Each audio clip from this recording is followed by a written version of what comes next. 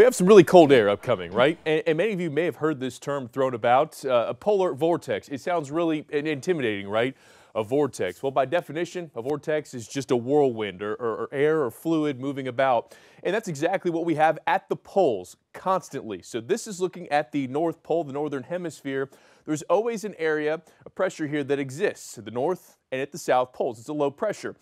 Now, during the summertime, obviously, the polar air here, it, it, hardly exists at all. Same thing on the flip side with the southern hemisphere. But in the winter, it's a very strong, very influential air mass. So it exists here, several miles above the surface, and you have this boundary of Arctic air. In between there, this is our barrier. We talk about the jet stream a lot. This is what separates our air masses.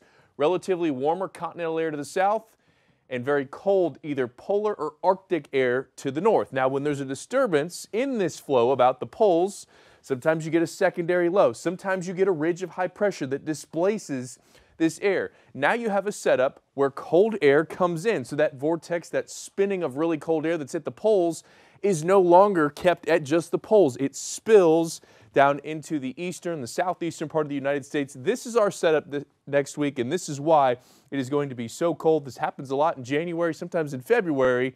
Next week, expect those lows in the 20s. Highs, in some cases, don't get out of the 30s.